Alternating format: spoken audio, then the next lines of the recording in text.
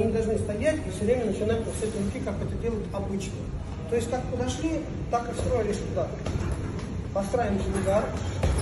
И самое главное, мы меняем ритм ударов и меняем дистанцию. Мы то бьем на вытянутую руку, то на среднюю руку, то на короткую руку. Мало того, мы наносим удары не только кулаком, передней частью кулака, мы наносим удары разными частями э, своих рук, плеч, допустим, локти, ладони обязательно, ребро ладони и так далее.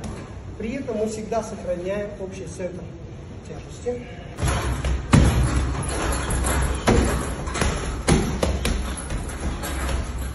И при этом наносить удары как на вдохе, так и на выдохе. Точнее, как на выдохе, так и на вдохе.